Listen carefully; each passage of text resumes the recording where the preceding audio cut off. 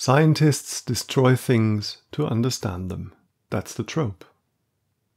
Hi, my name's Alex. I've argued enough for a lifetime. If you'd like to know more about nature, how we find out about it, and how all of this relates to being kind in our daily lives, please consider subscribing, hitting the bell, and sharing. I can't promise that you'll find answers in single videos, but it's all there in the channel as a whole. On to the worst trope in scientific storytelling.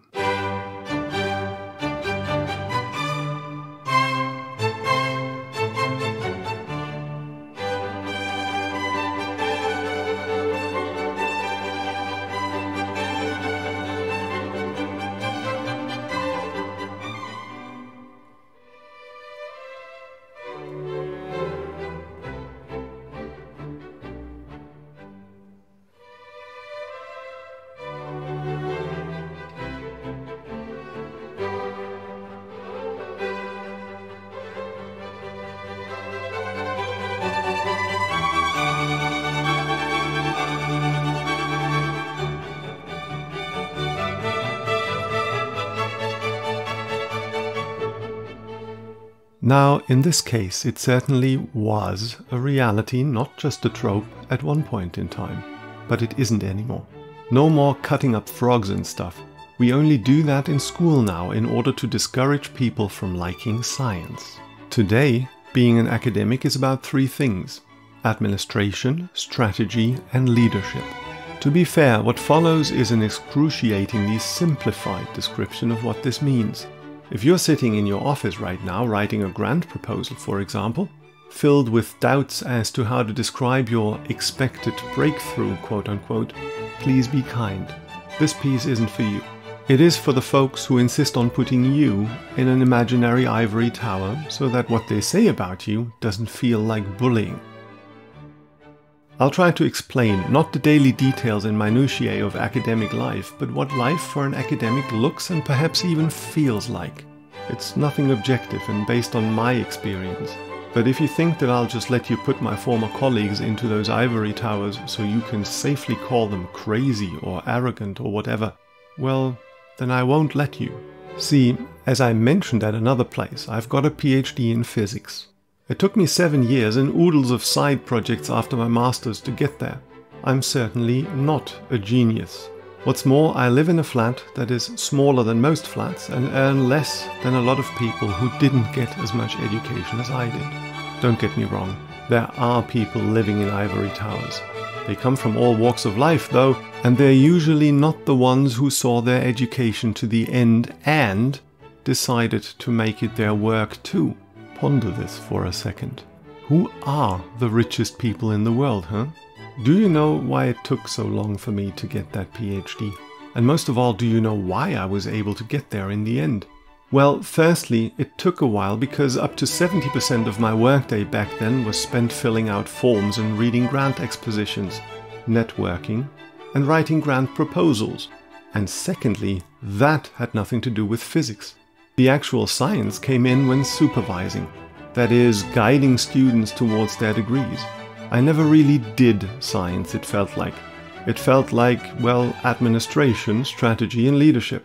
If I had had to be a genius, I would have probably never been able to get that PhD.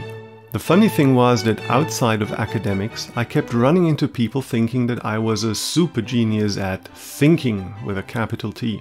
In fact, for quite a while I bought into that hype and thought highly of myself in that regard.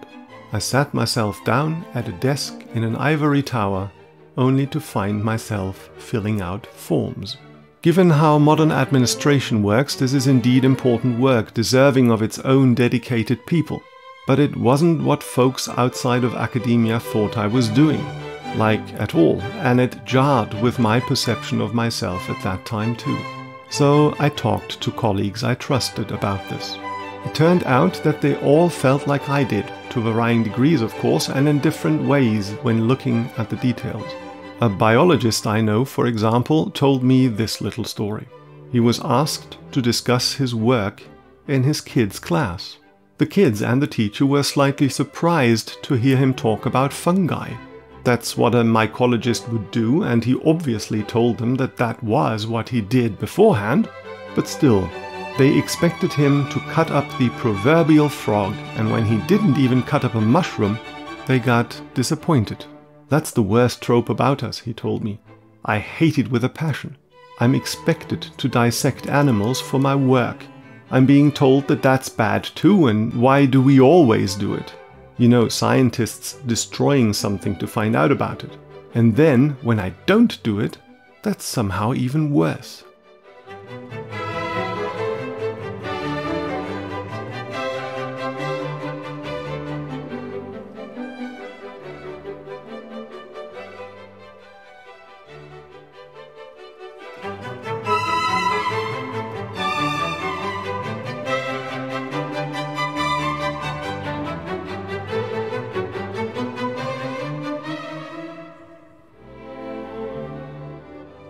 I'd like to tell you something different, but today's scientist needs to be a good administrator and strategic leader, getting money assigned to her and her work group, recruiting the right human resources to do the actual job, and then finding the right collaborators.